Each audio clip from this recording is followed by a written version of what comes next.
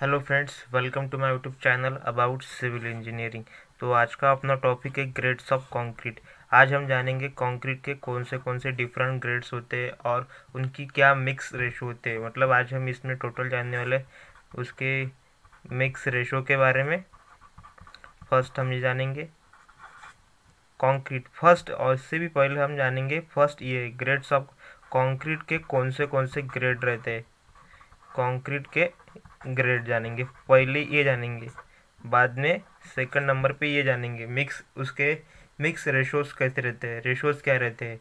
और third number पे हम उसकी कॉम्प्रेसिव कॉम्प्रेसिव स्ट्रेंथ जानेंगे, क्या होती है उसकी कॉम्प्रेसिव स्ट्रेंथ आज के इस वीडियो लेक्चर में हम ये सब सारी चीज़ें डिटेल में डिस्कस करने वाले हैं। तो चलिए शुरू करते हैं आज का topic grades of concrete concrete के डिफरेंट ग्रेड्स फ़र्स्ट हम जानेंगे उसके कौन से कौन से ग्रेड्स रहते हैं। फ़र्स्ट देख, लीजिए मैं आपको कॉलम बना देता हूँ। ये क्या है? फ़र्स्ट हम जानेंगे कंक्रीट के ग्रेड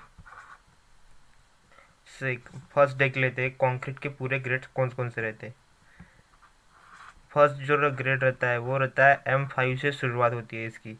फ़र्स्ट रहता है एम फाइव सेकंड रहता है M seven point five, third जो रहता है, ये रहता है एम टेन फोर्थ है एम फिफ्टीन फिफ्थ है एम ट्वेंटी और सिक्स एम ट्वेंटी फाइव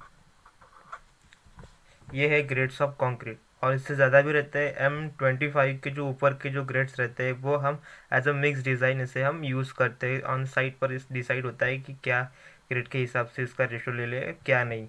जो, ये जो फ़र्स्ट ये जो है एम ट्वेंटी ये किसके लिए minimum grades of R C C R C structure में मिनिमम ग्रेड्स ऑफ़ कॉन्क्रीट हम कितने रहते हैं? एम ट्वेंटी और पी सी सी के लिए एम टेन और एम फिफ्टीन हम यूज़ करते हैं।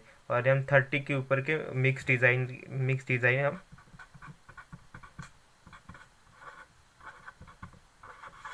के में हम इसे यूज़ करते हैं मिक्स डिज़ाइन के हिसाब से। फ़र्स्ट सेकंड कॉलम हम बनाते हैं मिक्स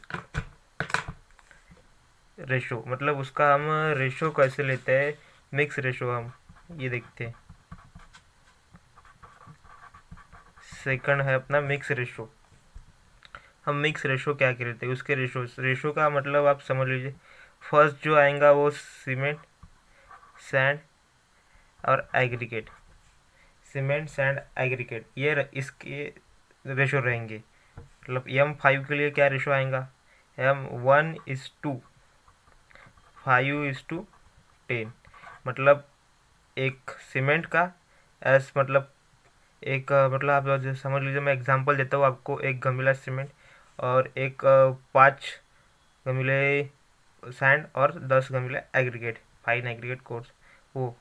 और एम सेवन पॉइंट फाइव के लिए one is to four is to eight इसी तरह हम यन एम टेन के लिए one is to three is to six और एम फिफ्टीन के लिए one is to two is to four और एम ट्वेंटी के लिए one is to one point five मतलब डेढ़ गमिला सैंड और तीन गमिला एग्रीगेट इस तरह से।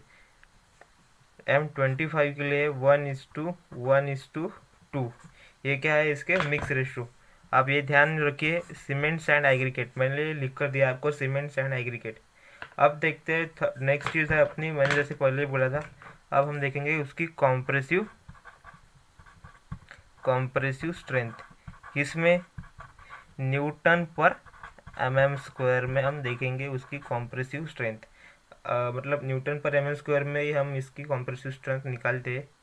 जो इसकी ग्रेड्स ऑफ़ कंक्रीट है, उसमें जो ये एम क्या है? मिक्स ये यम क्या है इसका? मिक्स यम माने मिक्स होता है। और ये क्या है? ये फाइव इसकी कॉम्प्रेसिव स्ट्रेंथ हुई। मतलब इसकी कॉम्प्रेसिव स्ट्रेंथ यही पर दिखे। आपको कहीं जाने की ज़रूरत नहीं है कॉम्प्रेसिव स्ट्रेंथ के लिए।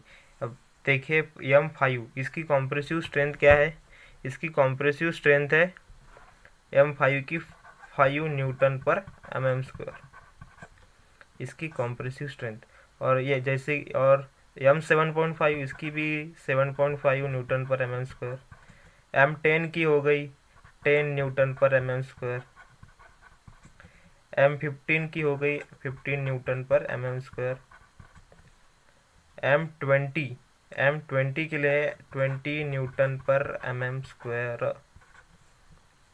और एम ट्वेंटी फाइव के लिए ट्वेंटी फाइव न्यूटन पर एम एम स्क्वायर ये जो कॉम्प्रेसिव स्ट्रेंथ रहेंगी, आपकी बदली जाएँगी। मतलब आप M twenty five M thirty M forty M sixty five ऐसे जो ग्रेड्स रहते हैं मतलब ये बड़े बड़े स्ट्रक्चर के लिए होते हैं तो इनके लिए जो ग्रेड कॉम्प्रेसिव स्ट्रेंथ रहेंगी, वो सेम ही रहेंगी। एम थर्टी फाइव की होंगी, थर्टी फाइव न्यूटन पर एम एम स्क्वायर, ये क्या होंगी उसकी कॉम्प्रेसिव स्ट्रेंथ। तो ये था आज की वीडियो का मेन पर्पस आपको बताने के लिए। मैंने जो आपको पढ़ा है, वो बहुत ही इम्पोर्टेंट और बेसिक है, ये आपको आना ही चाहिए। जो इसमें से सवाल बनते हैं कौन सा कौन सा ग्रेड कहाँ पर यूज़ करना चाहिए, ये सारी बातें इस वीडियो लेक्चर में डिस्कस हो चुकी है। तो आज का टॉपिक आपको अच्छा लगाऊँगा और इसके बारे में कुछ पता चलाऊँगा और इम्पोर्टेंट लगाऊँगा। तो इस वीडियो को लाइक कर दीजिए और दोस्तों के साथ शेयर कर दीजिए। Thank you for watching and good bye